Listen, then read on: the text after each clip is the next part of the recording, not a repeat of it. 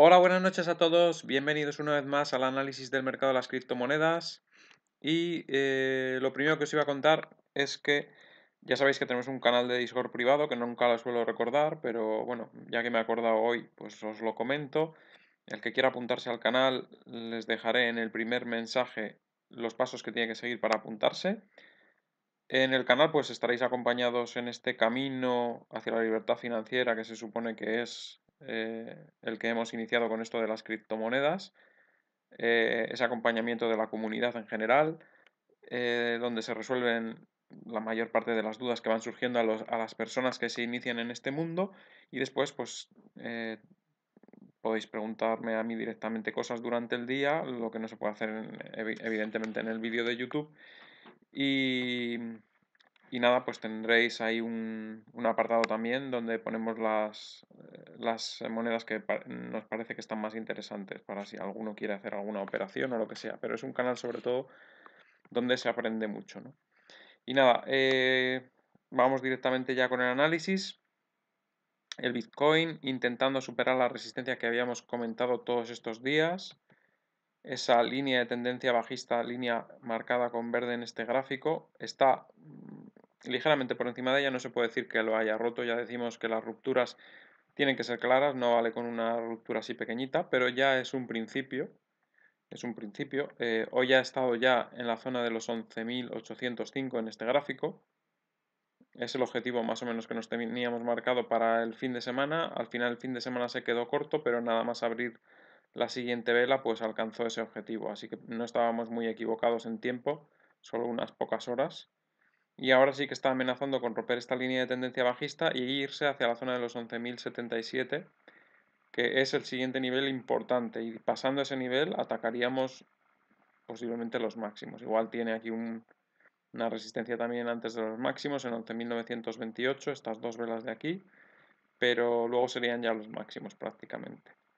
Así que, bueno, ya lo hemos dicho de todas formas que esto costará tiempo, no va a ser así vertical y subida. Pues la gente enseguida malinterpreta lo que digo y se piensan que yo estoy diciendo que va a hacer así. Yo no estoy diciendo que va a hacer así. Yo estoy diciendo que van a tender a ir hacia aquí. Nada más. Va a tender a ir hacia ahí en un tiempo.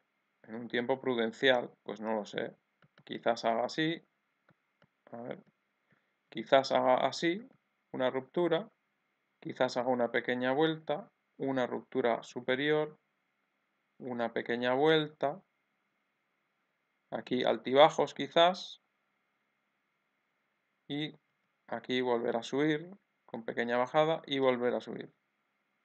No tiene por qué subir en vertical, no es lo que estoy diciendo. Puede hacer varios movimientos antes de llegar a su destino. Pero quiero decir que va en ese camino. Y como decía la mañana, también tenemos una zona de la que eh, si no sale, pues estará un tiempo ahí que era esta zona comprendida en este triángulo que os voy a marcar ahora con, con, el pincel este. Esta zona este triángulo de aquí, entre la línea roja, la línea morada y la línea verde, mientras no salga de los 11.077 estará moviéndose aquí y puede moverse en cualquiera de los sentidos hasta que en algún momento rompa, que puede romper aquí, puede romper aquí, puede romper aquí, puede romper donde sea. Pero mientras esté dentro de los 11.077, todo esto que haga aquí es aleatorio. Y habrá movimientos bruscos de repente hacia la parte baja para recuperar rápidamente y movimientos bruscos hacia la resistencia para frenarse y volver a caer.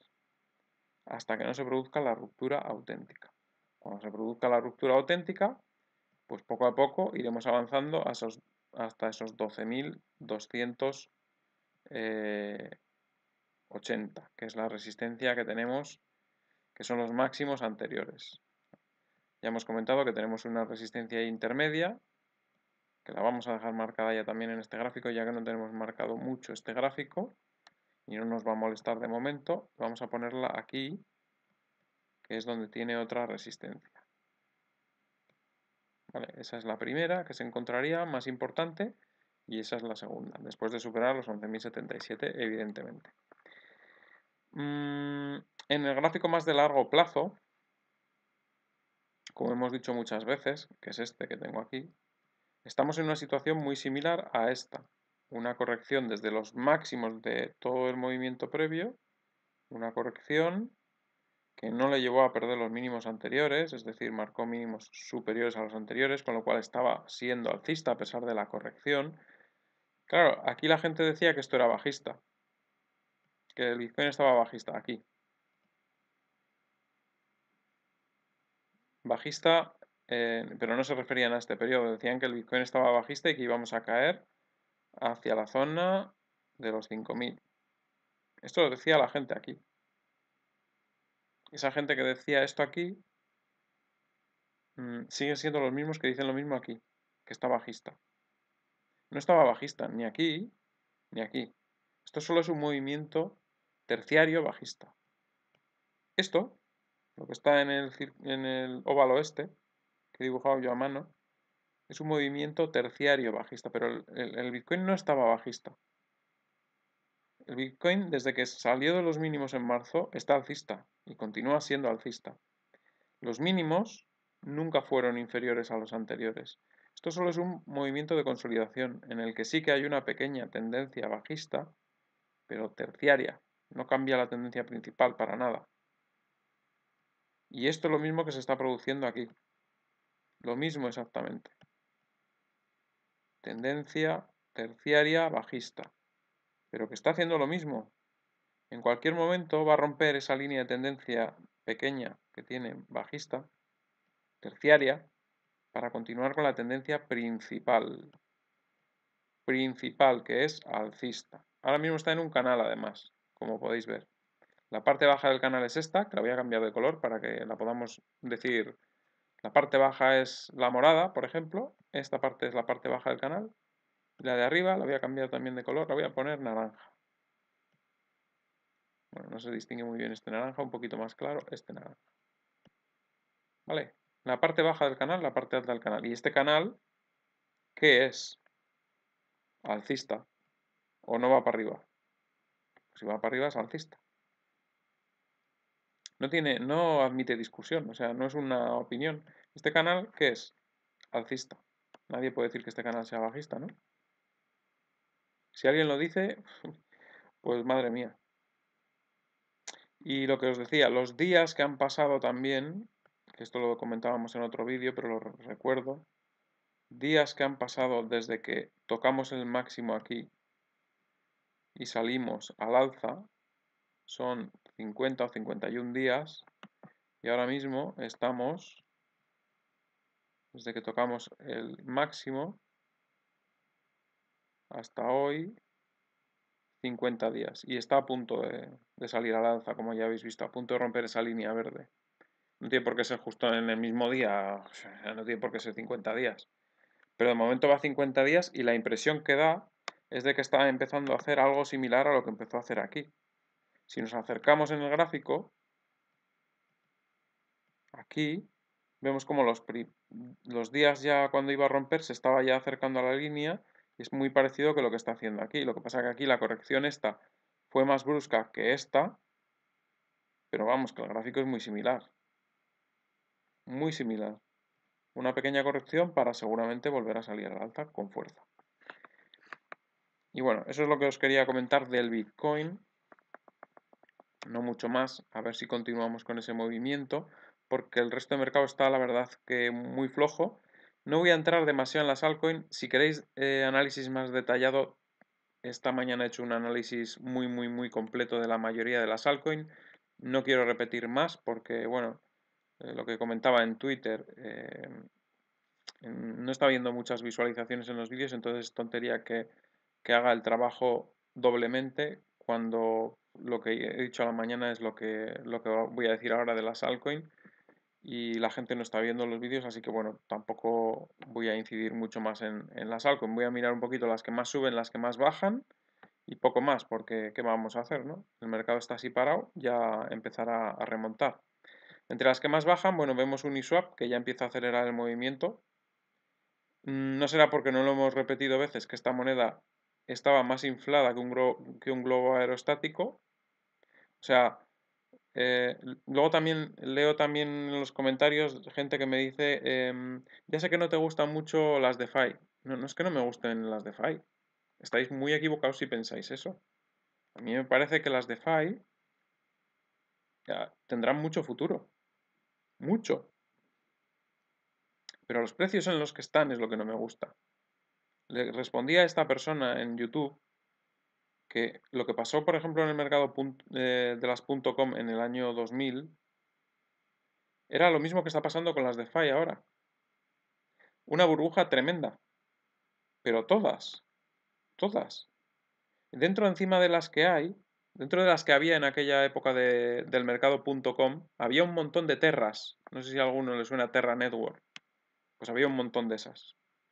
El 80-85% de las empresas de aquella época eran como Terra que luego desaparecieron o se fueron casi a la nada. Y había algunas pocas que eran como Amazon. Pero incluso Amazon en el 2000 cotizó a 100 dólares. Y, y era una bestialidad, porque llegó a caer luego a 6. Y tardó muchísimos años en recuperar los 100. Es decir, incluso aunque algunas de estas de DeFi digáis, sí, sí, pero es que son muy buenas. Sí, sí, pero es que están a 100 cuando, cuando deberían estar a 6. Si me comprendéis la, el símil que quiero hacer con Amazon. Amazon también en aquel momento era muy buena, pero estaba a 100. Pero estaba a 100. ¿Quién quiere Amazon a 100 cuando no llegó hasta, a 100 hasta el año 2006 o 2007? ¿Quién quiere Amazon a 100 en el año 2000? Eh, ahora sí, ahora que ves que está a 3.000 y pico, claro que la quieres a 100 pero viendo que estuvo 5 o 6 años por debajo de 100 y, y eh, llegando a estar en 6 y en 10 y en 15 y mucho tiempo en 30, ¿quién las quiere comprar a 100? Pues lo mismo que las de FI ahora. Habrá alguna buena, pero es que están a 100. A 100 en comparación, digo, a, a respectiva de lo que fue con, con Amazon en aquella época. Es lo mismo. Todas están infladas. El 85% encima serán eh, nada, sea, desaparecerán. Y el resto, que son las buenas, aún así, seguramente están un están eh, precios 10 veces más de, los que, de lo que deberían estar. Ahora. Ahora, en este, en este momento, en la situación en la que estamos. Dentro de 5 años, pues igual esos precios sí son razonables.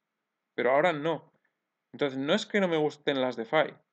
Habrá empresas tipo Amazon dentro de las DeFi pero tardará muchos años en que los precios actuales se justifiquen. Por lo tanto, llegará un momento en que los precios actuales caigan un montón. Incluida esta, por ejemplo, Uniswap. Uniswap ha salido unos precios que no son razonables para la época que estamos. Para dentro de 5 años, igual estos precios que está ahora, igual sí son los razonables, para dentro de 5 años. Pero de aquí a 5 años es mucho tiempo para esperar a estos precios. Posiblemente se irá muy, muy por debajo de esos precios. Y habrá que esperar cinco años a que los recupere. Entonces, no es que no me gusten estas, es que han salido en medio de una burbuja, en medio del FOMO. Eso es lo que no me gusta, el precio, no los proyectos. Habrá algún proyecto interesante dentro de estos. Evidentemente habrá un 80% que no valdrán para nada, como ocurrió con las .com. Terra Network os recuerdo que desapareció, después de estar cotizando a 156 euros cada acción, superando en valor, en capitalización, al BBVA, en la bolsa española. Una empresa que tenía 3.000 millones de pérdidas en aquel momento. Pues las de FI es algo similar. No tienen ganancias por ningún lado, por ningún lado, y están cotizando como si estuviesen ganando miles de millones. Eso es lo que está pasando. Y eso es lo que tenéis que tener claro. No decir que yo no me gustan las de FI, porque eso es mentira. Eso es mentira. A mí lo que no me gusta es el precio porque están en burbuja.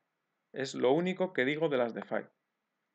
Entonces quería dejar claro eso. Cuando yo hablo de alguna, hablo en relación a su precio. No que me caiga mal o me caiga bien. Yo hablo de su precio. Igual que cuando digo que Teta no me gusta, no me gusta el precio. No me gusta el precio. Está descontando como si estuviese ganando ya miles de millones. Y no, porque no, de momento no se sabe si los va a ganar. Y si los gana va a ser dentro de mucho tiempo. Entonces eso es lo que no me gusta. Yo hablo de precios, nada más. Bueno, espero que con eso haya quedado clara mi postura con respecto a, ciertos proyectos que no... Yo no tengo manía a los proyectos, yo lo que no me gustan son los precios. Y, y, luego, si por fundamentales veo algo evidentemente que tampoco me gusta, pues también lo comento, como el caso de Ethereum. En ese caso son los fundamentales lo que no me gustan. Ya está. Al que le guste, pues que compre. Si porque diga yo que no me gustan los fundamentales, no va a dejar de subir. Si sube y tú has apostado por ella, pues estupendo, perfecto. Pero yo veo que estas están en FOMO, máximo.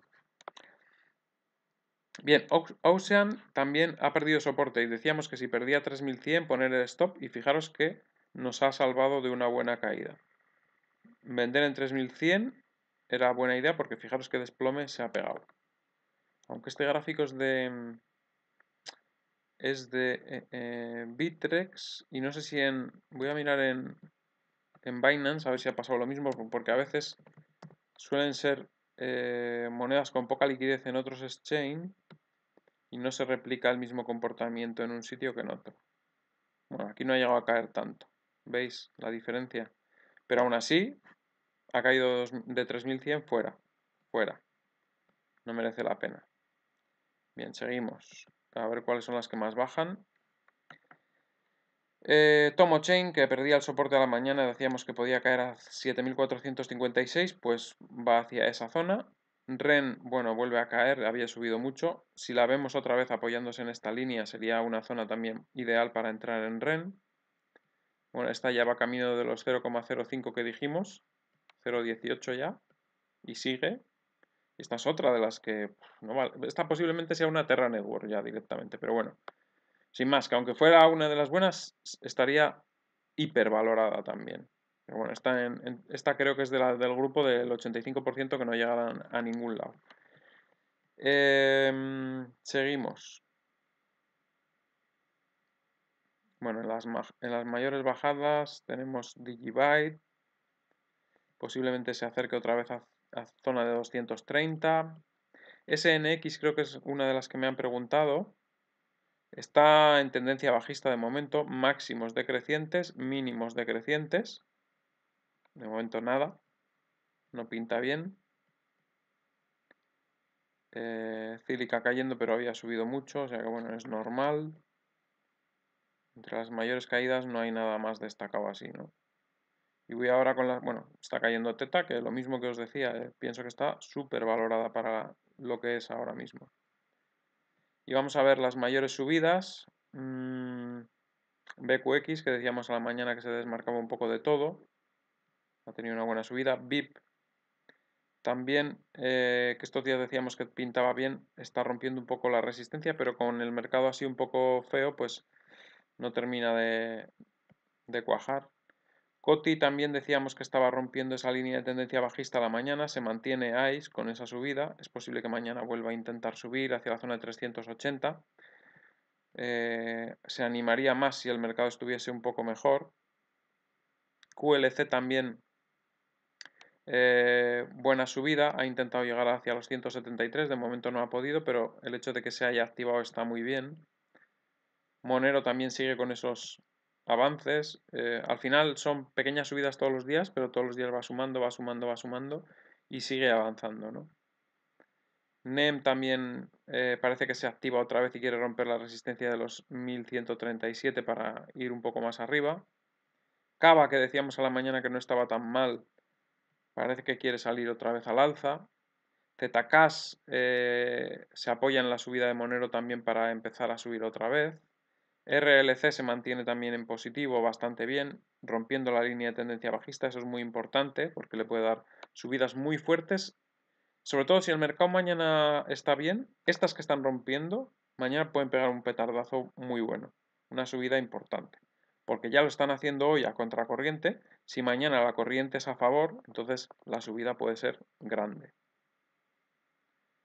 Eh, OGN también en positivo, también comportándose bien hoy. Eh, cuando parecía que estaba ya la cosa un poco fea, pues ha remontado.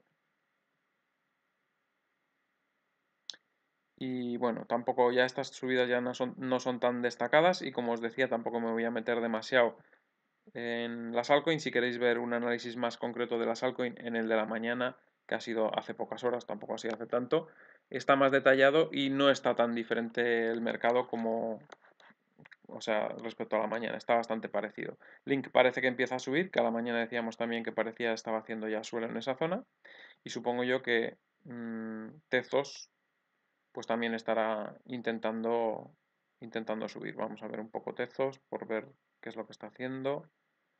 Y XTZ también intentando subir. Bueno, aquí tenemos dibujada la línea de tendencia bajista y a punto de romperla, ¿no? Así que eso es lo que tenemos. Mercado de altcoins bastante estable en la parte baja, queriendo hacer suelos. Eh, algunas ya están empezando a romper, como hemos visto. COTI, RLC, esta está amenazando también con romper, que es Tezos. Link también parecía que salía de los mínimos. Y el Bitcoin, pues ya lo vemos, está bastante bien. Vamos a ir otra vez a ver cómo termina antes de cerrar la transmisión. 10.754, muy cerquita del máximo del día. Nos queda una hora y 10 minutos para cerrar el día. Y en el momento que se cierre esa vela va a ser interesante porque está tan cerca de los máximos que en cualquier momento se va a acercar a esta zona de por aquí, que son los 10.839 y a romper y a ir a, los 11.072. Así que bueno, vamos a seguir vigilando, vamos a seguir eh, aguantando con las altcoins en esos mínimos porque van a empezar a saltar en cualquier momento. Y en cuanto salten tres o cuatro de las más destacadas, les van a seguir el resto. Eso está claro porque la gente, en cuanto vea que hay movimiento, se va a animar. Me preguntaban también sobre el volumen de negociación que está bajando. Es normal, cuando hay movimientos muy cortos, como estos días que ya hemos visto en la mañana, como había gráficos que tenían tres velas seguidas con prácticamente nada de volatilidad, con nada de movimiento, velas muy estrechas y prácticamente sin cambio. Claro, ¿cómo va a haber volumen? Porque para que haya volumen tiene que haber incentivos para que alguien compre y alguien venda. alguien, y alguien venda. Si tú compras y sube solamente un 0,3%, un 0,5%, no vendes. Si sube un 3%, vendes, entonces haces volumen. Y si baja, también haces volumen porque compras, porque ha bajado. Pero si está todo el rato quieto, no haces volumen, evidentemente. Se queda muerto el mercado. Se quedan a la espera. Si no hay movimiento, no hay volumen. Eso es lo que indica el volumen. Poco movimiento. Cuando hay mucho movimiento, mucho volumen. Porque claro, si baja mucho de repente, pues hay mucha gente que compra, mucha gente que vende volumen aumenta. Y cuando sube, después rebota, pues sigue habiendo volumen porque mucha gente que ha comprado vende, otros que habían vendido y creen que se han quedado fuera compran. Cuando hay movimientos, cuando hay volumen. Eso es así. Eso es lo que indica el volumen, nada más. Por lo menos a mí no me indica tampoco mucho más que eso. Y creo que no se me olvida nada más. Em, bueno, lo que os comentaba al principio, el que quiera apuntarse al Discord, ya sabéis, os dejo ahí los pasos a seguir. Y nos vemos en el siguiente vídeo. Al que haya gustado que dé un like, compartid en redes sociales para que el canal pueda seguir creciendo. Dadle la campanita si no estáis, si estáis, eh, perdón, si no estáis suscritos, dadle a suscribir y dadle a la campanita con todo para que os avise cada vez que se sube un vídeo nuevo. Y nos vemos en el siguiente vídeo. Hasta mañana.